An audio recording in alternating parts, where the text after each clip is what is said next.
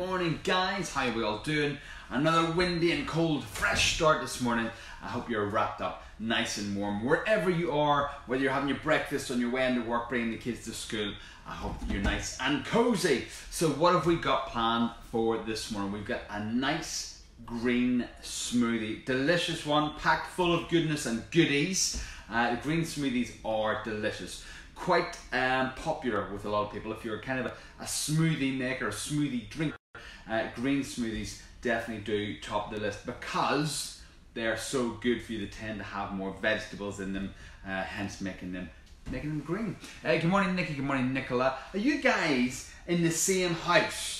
You of pop on at the same time every morning. It's not a bad thing. It's a good thing. Uh, nice to see you. Hope you're well. Uh, so there we go. He also just jumped on. Sharon's there too. Nice to see you there, Sharon. Uh, so yes, we got a nice green smoothie this morning for you guys. Uh, looking forward uh, to that one. Little quick shout out to everybody in the Body Hub community group that's currently working through our monthly challenge. This month it is crunches with a carryover of squats from last month. You guys are doing a great job. Keep the focus nearly at the end of this month and we'll be jumping into uh, March. You're doing a great job. Keep going. If you're not in the Body Hub community group and you're wondering what I'm on about, uh, go and search in Facebook Body Hub community group and join us. Lots of great advice and tips in there as well. Uh, morning, good morning, Sharon. So let's crack on with our little smoothie. So green one, as I said, we're going to base it out with a banana, as most smoothies, to be honest, do. Most smoothies do get based out with bananas, um, particularly if you like the creaminess.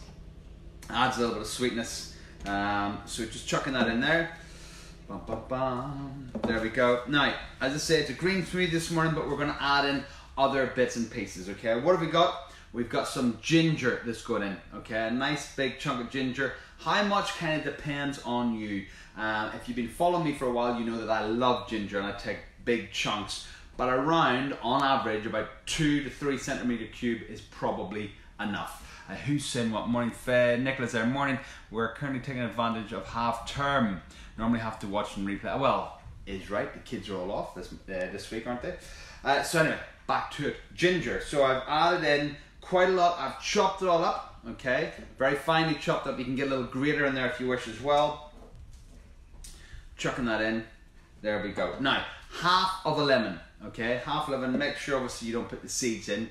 Doesn't tend to go down too well in smoothies. So just chuck that in. Nice, nice, nice. Bump, bump, bump.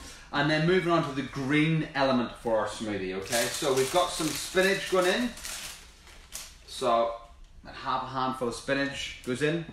And then the queen of greens, okay? The queen of greens is indeed our curly kale. All right, who's saying what now? Let's see. Stephen's joined. Hello, Stephen. Carla's there as well. Thank you very much, guys, for joining on. I do appreciate it. Remember, if you find these little gatherings that we have each morning uh, helpful, don't forget to hit the share button. Some are down about there. Uh, thank you very much. So we've got our curly kale. Okay, what I want to say to you about the kale when you add it. Okay, you see this this little stalk here.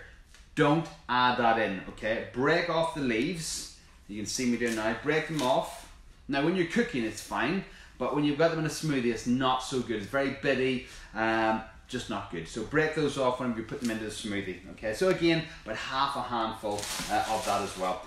That's us ready to go other than adding in our milk of choice. Okay, for me it's almond milk this morning.